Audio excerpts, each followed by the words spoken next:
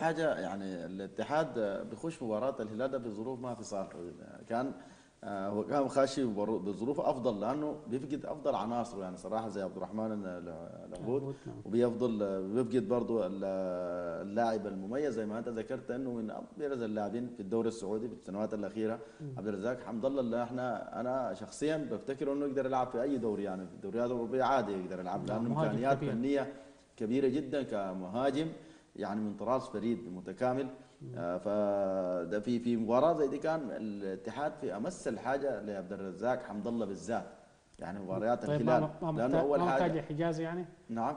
ولا جايك له حجاز. نعم. آه لأنه حمد الله طبعا هو في المباراة دي بيبحث للنصر. وانت وحمد الله فريق يعني لما يلعب بيربك حسابات الخصم يبحث- الانتصار عشان ما يتحسسوا النصراويين يعني. أيوه نعم ده. آه وفي النهاية بالمناسبة حجازة ده أنا بفتكر إنه يمكن قيمة فنية في هو اللي عمل التوازن لتشكيلة الاتحاد بأكمله مش الدفاع بس. نعم نعم. لأنه قائد بمعنى الكلمة ساهم بعدد كبير جدا في أهداف الاتحاد. عمل توازن دفاعي كان الخلل الكبير المتواجد في الدفاع. فمدرب بوزن ثقيل صراحة لا لا سوري يعني قلب دفاع محترف من الوزن الثقيل جدا. فهو طبعا آه، من خسارة كبيرة اللاعب الاتحاد بدخل لغاء كبير جدا امام الهلال المنتشي دائما بعروضه الكبيرة مع دياز.